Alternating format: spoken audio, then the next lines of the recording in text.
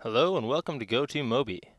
In this video, we will explain where you can find all the resources you will need to run smoothly on our platform. At the top of the page, you will see you have five different tabs to navigate the different sections of our platform.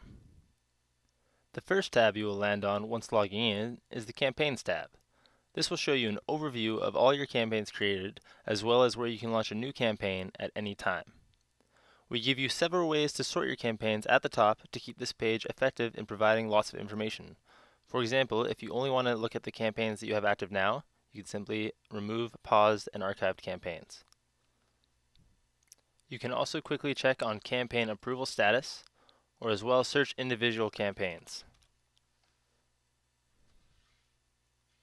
The next tab is your account page.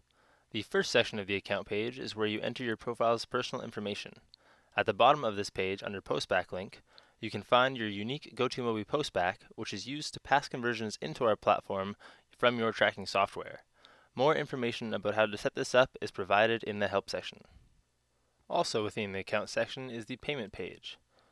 Here is where you can make credit card payments to add balance to your account. If you'd like to send payment via wire transfer, please contact support for the information required for that. And lastly within this section is Transactions, where you can see your history of deposits and account spend. The next tab, the Help section, offers two very important resources running smoothly on the platform. The first section you should have a look at is Creative Guidelines. This will give you in-depth information on different verticals and on different exchanges for which creative content will be allowed on our traffic. So please have a read through before uploading banners or landing pages. The next important resource within the Help section is our Knowledge Center. Within the Knowledge Center, you can find a wealth of information that is going to help you set up and run successful campaigns. Whether it be from getting in-depth information of our different targeting features to advice on how to scale a campaign. There are many helpful articles and videos in here that a new user would benefit to read. Lastly, within the Help section is our link to support email. Please be specific with your requests and where possible include the campaign IDs.